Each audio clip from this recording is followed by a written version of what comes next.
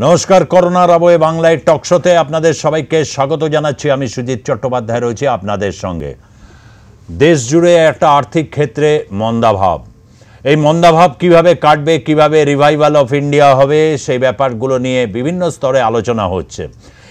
বেশ কিছুদিন ধরেই লক্ষ্য করছি বিভিন্নভাবে ডক্টর সুব্রমণিয়াম স্বামী, যিনি জনসংঘের সময় থেকে ভারতবর্ষে যিনি এমপি রয়েছেন এবং হার্ভার্ড বিশ্ববিদ্যালয়ে যিনি অধ্যাপনা করেছেন। সারা পৃথিবীতে তার স্টুডেন্ট ছড়িয়ে রয়েছে এবং তারা কেউ কেউ কেউ ইটালির প্রতিরক্ষা মন্ত্রী, তো কেউ কোনো পৃথিবীর কোনো বড় ব্যাংকের তিনি শীর্ষকর্তা। বারবার বলছেন, নরেন্দ্র মোদী অর্থনীতির কিছুই বোঝেন না। এমনকি এমন একটা পরিস্থিতি আসবে যে তার সাথে আলোচনা করতেই হবে এবং তিনি নিজেকেই বলছেন যে এই পরিস্থিতি থেকে বেরিয়ে আসার একটাই মাত্র উপায় হচ্ছে যে প্রচুর পরিমাণে টাকা দিতে হবে মানুষের কাছে, এমনকি ইনকাম ট্যাক্সকেও অ্যাবলিশ করতে হবে। যদি না করে, তাহলে দেশের মানুষ যদি খরচা করার প্রবণতা না পারে দেশ জুড়ে একটা ডিমান্ডের বড় অভাব, বাজারের চাহিদা নেই। ফলে জিনিস অবিকৃত থাকছে, মানুষের হাতে পয়সা নেই, এরকম একটা পরিস্থিতি। একটা সময় প্রতিশ্রুতি দিয়েছিলেন প্রধানমন্ত্রী, দেশে দু কোটি মতো কাজ হবে। দু কোটি মানুষের কাজ হবে প্রত্যেক বছর। কিন্তু হয়, একই দিন এলো। করোনার আবহে যখন লকডাউন শুরু হলো, এই মুহূর্তে ঠিক দু কোটির মতো মানুষ কাজ হারিয়েছেন। প্রত্যক্ষভাবে যারা একদম নিযুক্ত ছিলেন, স্থায়ী কাজে নিযুক্ত ছিলেন, এরকম মানুষ, দু কোটি মানুষ কাজ হারিয়েছেন। এবং বহু মানুষ এখন কাজ হারানোর মুখে রয়েছেন। কি ভাবনা ভাবছে এই এই জায়গা থেকে বেরিয়ে আসার জন্য? আপৎকালীন ভাতা কি যথেষ্ট যেটা কেন্দ্রীয় সরকার ঘোষণা করেছে? এই সমস্ত বিষয় নিয়ে সরাসরি বিতর্কে আর কি চলে আসছি। বিতর্কে অরূপ চক্রবর্তী রয়েছেন, তৃণমূল কংগ্রেসের মুখপাত্র। রয়েছেন অনির্বাণ দত্ত, চার্টার্ড অ্যাকাউন্টেন্ট, যিনি বিশিষ্ট আর্থিক বিশেষজ্ঞ। অধ্যাপক দেবাশিস মজুমদার, ডক্টর দেবাশিস মজুমদার, যিনি অর্থনীতিবিদ তিনি রয়েছেন এবং ভারতীয় জনতা পার্টির হয়ে প্রতিনিধিত্ব করবেন বিজেপি নেতা অভিজিৎ দাস। আমি প্রথমে অরূপ চক্রবর্তীকে বলতে বলব যে অরূপ এইরকম একটা পরিস্থিতি দেশে তৈরি হয়েছে। এটা এক ধরনের এমনই মন্দার পরিস্থিতি যার আঁচ থেকে যে পশ্চিমবঙ্গ বেঁচে রয়েছে তা নয়, কাজ হারানো মানুষ এখানেও রয়েছেন। এরকম একটা পরিস্থিতি থেকে বেরিয়ে আসার জন্যে সরকার কি ভাবনা চিন্তা করছে? বিশেষভাবে রাজ্য সরকারের কথা ভাব, বলছি। না সুজিতদা আমি প্রথমেই আপনার কথা রেজ ধরে বলি যে সিএমআই মানে যেটা কেন্দ্রীয় সরকারি সংস্থা, তাদের তথ্য বলছে, আপনি সঠিকভাবে বলছিলেন, প্রায় দু কোটির কাছাকাছি মানুষ অ্যাকচুয়াল ফিগারটা যদি আমরা ক্যালকুলেট করি, এক কোটি উননব্বই লক্ষ মানুষ শুধুমাত্র এই June, July, April, May, June, July এই প্রিমিয়ারের মধ্যে কাজ হারিয়েছেন। এবং এরা শুধুমাত্র অর্গানাইজ সেক্টরের রিপোর্ট এর বাইরে যে ব্যাপ্তি অসংখ্য আনঅর্গানাইজ সেক্টর যেই সেক্টরটা এখনও ক্যালকুলেশনের মধ্যেই আসেনি। যেমন ধরুন যারা বিভিন্ন রকমের কনস্ট্রাকশন লেবার যারা আনঅর্গানাইজ সেক্টরের লেবার যেমন ধরুন একটা বাসের ড্রাইভার থেকে শুরু করে একজন অটো চালক থেকে শুরু করে একজন সাধারণ দিনমজুর এই যে ম্যান্ডেজ লস এবং জব লস এর যদি ইভ্যালুয়েশন করা হয়, তাহলে যে ভয়ঙ্কর চিত্রটা আমাদের সামনে উঠে আসবে, আজকে কিন্তু অর্গানাইজ সেক্টরের রিপোর্টেই তার রিফ্লেকশনটা পরিষ্কার হয়ে যাচ্ছে। আমরা যদি একটু আগে ফিরে যাই, এখন অনেকেই বলছেন যে এটা ঘটনা যে করোনার ফলে সারা পৃথিবীব্যাপী একটা অর্থনৈতিক মন্দা এসছে, এতে কারোর কোনো দ্বিমত নেই। সেটা শুধুমাত্র ভারতবর্ষ কেন? সারা পৃথিবী এই মন্দার দিকে ঝুঁকছে এবং যখন একটা এই ধরনের অতিমারি পরিস্থিতি হয়, মানুষের স্বাভাবিক নেচার হচ্ছে ক্যাশ হোল্ড করে রাখা। মানুষ সহজে খরচ করতে চান না, কারণ অদূর ভবিষ্যতের কথা ভেবে মানুষ অর্থনীতি মানে নিজের যে ক্রয় ক্ষমতা সেটা লাগাম রাখতে চান। কিন্তু তার আগে আপনি যদি দেখেন গত জানুয়ারি, ফেব্রুয়ারি বা ডিসেম্বর দু হাজার রিপোর্টগুলো, বিভিন্ন মানে আমাদের স্ট্যাটিস্টিক্যাল সার্ভে রিপোর্ট যেগুলো আসছিল, একটার পর একটা সমীক্ষা রিপোর্ট তাতে দেখা যাচ্ছিল ভারতবর্ষ বাহাত্তর বছর দু হাজার উনিশ অর্থাৎ স্বাধীনতার বাহাত্তর বছর পরে ভারতবর্ষের অর্থনীতি সবচেয়ে খারাপ জায়গায় এসেছিল জিডিপি গ্রোথ রেট থেকে শুরু করে মানুষের হাতে ক্রয় ক্ষমতা চলে গিয়েছিল। এবং আপনি যদি তখন লক্ষ্য করেন যে সুজুকি কোম্পানি যারা ভারতবর্ষের সবচেয়ে বেশি গাড়ি উৎপন্ন করে, তাদের রিপোর্ট বলেছিল স্বাধীনতার পরে জবে থেকে সুজুকি কোম্পানি ভারতবর্ষে মারুতি এবং সুজুকি বা পরবর্তীকাল আলাদা হয়ে যাওয়ার পরও জবে থেকে গাড়ি উৎপন্ন করছে। এত খারাপ অবস্থা গাড়ি শিল্পে এর আগে কোনোদিন দেখেননি। এবং শুধু গাড়ি শিল্প নয় গাড়ি শিল্প না হয় একটা সেক্টর তারা অ্যাফোর্ড করতে পারে। সামান্য পার্লেজির মতো একটা ছোট বিস্কুট কোম্পানি তাদের পর্যন্ত যেভাবে সেল ড্রাস্টিক্যালি মানে ডাউন হয়েছিল, আজকে সামগ্রিকভাবে একটা আমরা জানি, আমরা দেখেছি আসলে মূল জায়গাটা একটু পিছিয়ে যেতে হবে। আমাদের অর্থনীতিকে কমায় পাঠিয়ে দিয়েছিল দুটো পরপর সিদ্ধান্ত। এক হচ্ছে ডিমনিটাইজেশন দ্বিতীয় হচ্ছে আনপ্ল্যান্ড ইমপ্লিমেন্টেশন অফ জিএসটি এরা কোমায় পাঠিয়ে দিয়েছিল অর্থনীতিকে আর কোভিড নাইন্টিন আজকে আসার পর এটা কোমরবিডিটি এই যে আমরা বলছি না কোমরবিডিটি করোনার সময় ডেট অডিট করতে গিয়ে আসলে ভারতবর্ষের অর্থনীতি মৃত্যুর মুখে দাঁড়িয়ে রয়েছে। আগেই কোমায় চলে গিয়েছিল করোনার আগে আর করোনা এসে কোমরবিডিটি রেটটা আরও বাড়িয়ে দিয়েছে এবং তার সাথে সাথে একটা অদূরদর্শী নেতৃত্ব ভারতবর্ষের বুকে। আমরা দেখলাম ডক্টর মনমোহন সিংয়ের সাথে আমাদের অনেক বিরোধ রয়েছে। আমরা ইউপিএর একটা সময় শরিক ছিলাম একটা সময় বিরোধিতাও করেছিলাম। কিন্তু দু হাজার আট নয় যে রিসেশন এসেছিল ডক্টর মনমোহন সিং কিন্তু তার বুদ্ধিমত্তায় তার যে এফিসিয়েন্সি তিনি বিশ্বব্যাংকের দায়িত্ব সামলেছেন তিনি কিন্তু সেই রিসেশনকেও সামাল দিয়েছিলেন যেটা আজকের দিনে দাঁড়িয়ে ভারতবর্ষের অর্থমন্ত্রক মুখ চমৎকার একটা জায়গা থেকে বললে যে কোমরবিডিটি ছিল তার কারণে ভারতীয় অর্থনীতি দীর্ঘদিন ধরে এমন একটা অসুস্থ অবস্থায় ছিল যে মানে করোনা পরবর্তী লকডাউনের সময় সেইটাকে প্রায় কোমরবিডিটি হিসেবেই ধরা যেতে পারে, যেটা কিন্তু এখন রীতিমতো একটা নাবিশ্বাস পরিস্থিতির মধ্যে দিয়ে আমরা যাচ্ছি। অনির্বাণ দত্তের কাছে আসব। অনির্বাণ দত্ত, এরকম একটা পরিস্থিতিতে কীভাবে পুল আউট করা যায়? এই এই ব্যাপারে কিন্তু খুব স্পেসিফিক একটা জায়গায় ডক্টর সুব্রমণিয়াম স্বামী বলেছেন যে এখন তাকেই দেশে অর্থমন্ত্রী করা উচিত। ভয়ঙ্কর এই ক্রাইসিস কিন্তু নরেন্দ্র মোদী তার কোনো কথাই শুনছেন না, এমনকি আমরা এটাও দেখতে পাচ্ছি যে বিভিন্ন ক্ষেত্রে ডক্টর হর্ষবর্ধনের কোনো ভূমিকা নেই, নির্মলা সীতারামনের কোনো ভূমিকা নেই, এবং অর্থনীতির কিছুই বোঝেন না প্রধানমন্ত্রী নরেন্দ্র মোদী, এমন উক্তি করছেন। বিজেপির এমপি ডক্টর সুব্রমণিয়াম স্বামী, এবং তিনি বলছেন যে কর অন্তত তুলে দেওয়া উচিত আপাতত তার কারণ তাতে অন্তত মানুষের খরচা করার একটা প্রবণতা বাড়বে। যারা অন্তত ট্যাক্স দেন কি বলবেন? আপনি আরেকজনের নাম বলতে ভুলে গেছেন অনুরাগ ঠাকুর। আচ্ছা সমাধান এত সোজা নয় সুজিতদা যে কথাগুলোর মধ্যে দিয়ে আমরা এই কয়েকদিন ধরেই আসছি যে অরূপ যেটা বলল কোমরবিডিটি ডিমনিটাইজেশন জিএসটি আমি আরও পিছিয়ে যাচ্ছি একটু। উনিশশো একানব্বই সালে ওই মনমোহন সিং কিন্তু এই জুলাই মাসে মানে প্রায় কুড়ি বছর হতে চলল ওই মুক্ত অর্থনীতির একটা দরজা খুলে দিয়েছিলেন ভারতবর্ষে। এবং ভারতবর্ষের যদি অর্থনৈতিক উন্নয়নটা দেখেন, একটুখানি কিন্তু ত্বরান্বিত হয়েছিল ওই উনিশশো একানব্বই সালের ওই একটা সাহসী সিদ্ধান্তের পথে। কিন্তু তার সঙ্গে সঙ্গে আবার আমরা দেখলাম যে দু হাজার একটা গ্লোবাল ডিসিশন এলো, সেক্ষেত্রে ভারতবর্ষ এবং ভারতবর্ষের বাইরে বহু দেশ কিন্তু সেই রকম একটা সময়ে খুব টালমাটাল পরিস্থিতির মধ্যে দিয়ে যাচ্ছিল। ভারতবর্ষ হ্যাঁ অনেকটা নিজেদেরকে বাঁচিয়ে রাখবার চেষ্টা করেছিল এবং বাঁচিয়ে রেখে রাখতে পেরেছিল। তার যে একটা প্রভাব, সেই প্রভাবটা খুব ক্ষণস্থায়ী ছিল।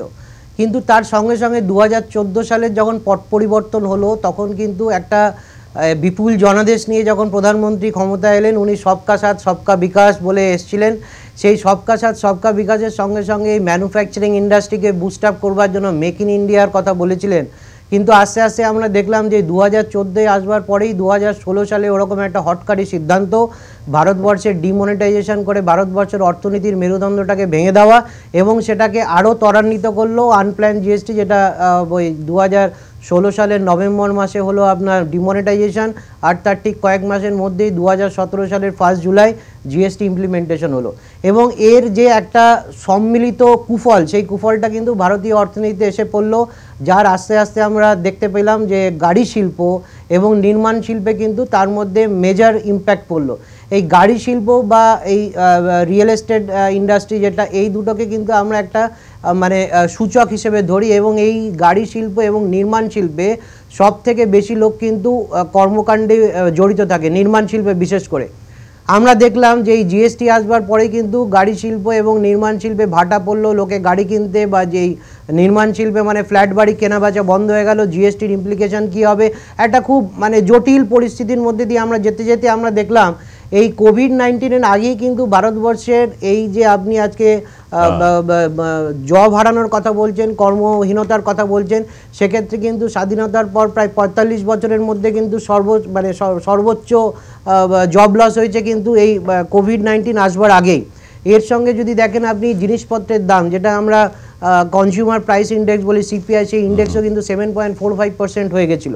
দেখুন সিএমআই এর রিপোর্ট দিয়ে কিন্তু এই পুরো ব্যাপারটাকে মানে আপনার সামনে তুলে ধরা যাবে না। দর্শকদের সঙ্গে দর্শকদের সুবিধার জন্য মানে ভুক্তভোগী যারা হচ্ছেন বা যারা দেখতে পাচ্ছেন প্রতি মুহূর্তে প্রায় প্রত্যেকটা মানুষের মধ্যেই সাধারণ মানুষকেই তো চোখে বেশি দেখা যায় অসাধারণ মানুষরা তো অনেকটাই দৃশ্যে আড়াল থাকেন। ফলে তাদের অতটা কিন্তু বোঝা যায় না কিন্তু সাধারণ মানুষের অবস্থা খুব একটা আমি সুজিত বিপজ্জনক একটা- অবস্থায় গেছে হ্যাঁ। কথা বলি যে এই সিএমআই এর রিপোর্টটা কিন্তু কিছু সংখ্যক লোককে স্যাম্পল করে রিপোর্টটা তৈরি করা হয়। সিএমআই এর বাইরে যদি যান আপনার আশেপাশে যদি আপনি দেখেন সরকারি ক্ষেত্র ছাড়া বেসরকারি ক্ষেত্রের একটা ম্যাক্সিমাম জব কাট হচ্ছে এবং যারা জব বাঁচিয়ে রাখতে পারছেন সেই অর্গানাইজেশনগুলোও কিন্তু এমপ্লয়ীদের কনকারেন্স নিয়ে তাদের পে কাট করছে এবং এই পুরো কর্মকাণ্ডটাই কিন্তু হচ্ছে সাধারণ মানুষের এই যে দীর্ণদশা দৈন্যদশা সেই দৈন্যদশাটাকে ত্বরান্বিত করছে এবং সাধারণ মানুষও জানে না যে আজকে যে এক্সপেন্ডিচারটা সে করছে সেই এক্সপেন্ডিচারটা কিন্তু শুধুমাত্র নিত্য নৈমিত্তিক জিনিসপত্রের উপরই খরচা করছে। সাধারণ মানুষকে বেঁচে থাকতে গেলে কিন্তু শুধু নিত্য নৈমিত্তিক জিনিসের উপর ভরসা করে চলতে পারা যাবে না। একেবারে মন্দার পুরো লক্ষণটা হ্যাঁ অনির্বাণ আমার মনে হয় তুমি ঠিকই বলেছ যে সিএমআই রিপোর্টটা পুরোটাকে রিফ্লেক্ট করছে না। কিন্তু on the other hand CMI যে অর্গানাইজ সেক্টরের উপর যে রিপোর্টটা করেছে এইটা একেবারে তাদের স্ট্যাটিস্টিক্যাল ডেটার উপর ডিপেন্ড করে। আমরা যদি রিপোর্টটা দেখি আমার কাছে রিপোর্টটা এই মুহূর্তে রয়েছে।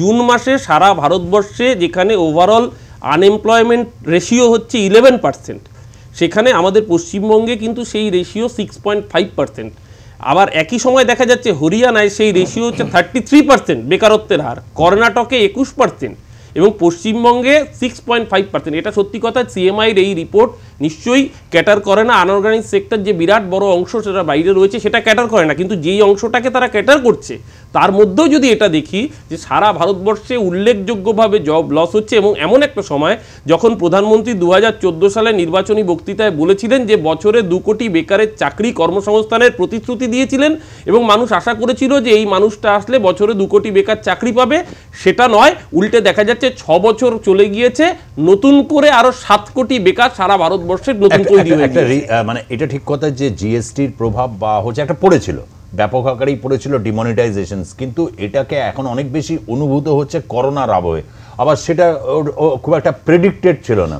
ফলে এই রকম একটা জায়গা খুব বিপজ্জনক একটা অবস্থানের মধ্যে দিয়ে দাঁড়িয়ে আছে। এটা কি খুব ইচ্ছাকৃত বলা যায়? এটা একটা খুব সরলীকরণ হচ্ছে। করোনার আবহে নিশ্চয়ই আমরা বারবার বলছি যে করোনার সময় সারা ভারতবর্ষে ইকোনমিক রিসেশন হচ্ছে স্লোডাউন হচ্ছে সেটা অনস্বীকার্য। কিন্তু আমরা যে কথাগুলো বলতে চাইছি সেটা কিন্তু সমস্ত রিপোর্টগুলো ফেব্রুয়ারি মাস তার আগে জানুয়ারি তার আগে ডিসেম্বরের রিপোর্টের কথা বলছি। এই যে আহ, অনির্বাণও সহমত হলো যে আজকে একটা গাড়ি ইন্ডাস্ট্রি যার সার্ভে রিপোর্ট বলছে দু হাজার উনিশের ডিসেম্বরের রিপোর্ট বলছে। শুধুমাত্র সুজুকি বলে নয় হন্ডাই থেকে শুরু করে সমস্ত ইন্ডিয়ান ম্যানুফ্যাকচারিং ইন্ডাস্ট্রিগুলো তাদের drastically fourteen point eight percent পর্যন্ত গাড়ি বিক্রি কমে গিয়েছে। একটা সাধারণ বিস্কুটের কোম্পানি তার সেল ডাউন হয়ে যাচ্ছে।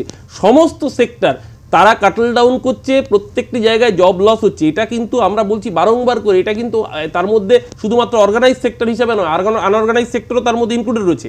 এর বাইরে সরকার যেটা পারত, সরকারি যে সংস্থাগুলো সেগুলোকে যদি শক্ত করত আরও মজবুত করতো। উল্টে আমরা দেখছি আমাদের বিজেপি সাংসদ অনন্ত কুমার হেগড়ে তিনি গিয়ে বলছেন বিএসএনএল এর কর্মচারীরা ট্রেইটার তারা বেইমান। তাদেরকে বের করে দেওয়া হবে এবং অষ্টআশি হাজার বিএসএনএল এর কর্মচারী যারা দীর্ঘদিন মায়না পাচ্ছেন না তাদেরকে ওখান থেকে ছাঁটাই করে দেওয়া হবে। হুমকি দিচ্ছেন সাংসদরা।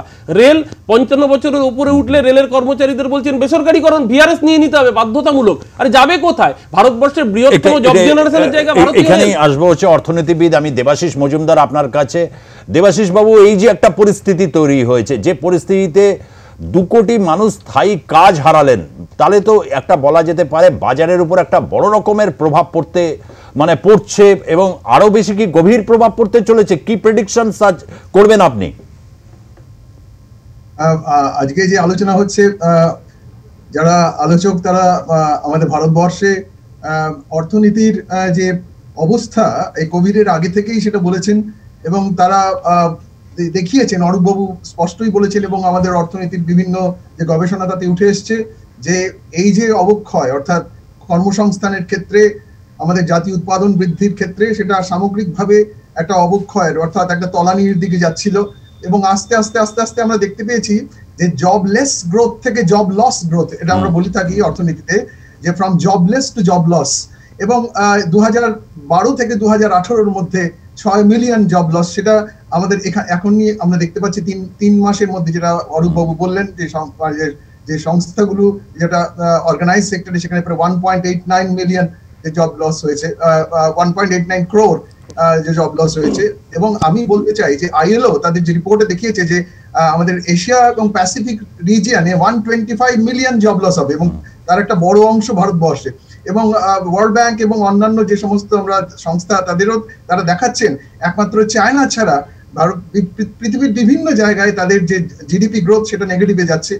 তার মানে আমরা একটা অবস্থা ছিল, সেই অবস্থাটা ছিল একটা স্ট্রাকচারাল অর্থাৎ আমাদের কাঠামোগত কতগুলো দুর্বলতা আছে, অর্থনীতির কাঠামোতে দুর্বলতা, আমরা এটাকে বলি যে আমাদের কৃষিক্ষেত্রে কাঠামোগত দুর্বলতা, অর্থাৎ চাষির হয়তো লাঙল আছে, তার বলদ আছে, কিন্তু তার সেচের সুবিধা নেই। আমরা ভারতবর্ষের বিভিন্ন জায়গায় এই কাঠামোগত অপূর্ণতা দেখে থাকি, সেটা আমাদের আছেই। তার সঙ্গে আছে যেটাকে আমরা বলি সাইক্লিক্যাল ফ্লাকচুয়েশন অর্থাৎ বাণিজ্যিক উত্থান পতনের মধ্যে দিয়ে। সারা বিশ্ব জুড়ে যে উত্থান পতন, তার একটা প্রবাহ মানে তার একটা প্রভাব ভারতবর্ষকেও নিতে হয়েছে। এখন প্রশ্ন হচ্ছে যে যে- প্রশ্নটা আপনি করলেন, এর প্রভাব স্বল্পকালীন এবং দীর্ঘকালীন দুটোর দিক থেকেই ভাবতে হবে। যেটা আমি যোগ করতে চাই, অন্যদের আলোচনার সঙ্গে সুন্দর আলোচনা হচ্ছে, তার সঙ্গে একটি মাত্র বিষয় আমি যোগ করতে চাই, সেটা হচ্ছে যে আমাদের এই বিশ্বায়নের যুগে সারা পৃথিবী জুড়ে আমাদের যে মূল্য শৃঙ্খল তৈরি হয়, অর্থাৎ যেটাকে আমরা বলি গ্লোবাল ভ্যালু চেইন দুটো ভ্যালু চেইন হয়, একটা হচ্ছে লোকাল ভ্যালু চেইন বিভিন্ন রাজ্যের মধ্যে বিভিন্ন অংশ জুড়ে উৎপাদনের ক্ষেত্রগুলো একে অন্যের সঙ্গে যুক্ত, পৃথিবীর অন্যান্য দেশের সঙ্গেও আমরা যুক্ত আছি।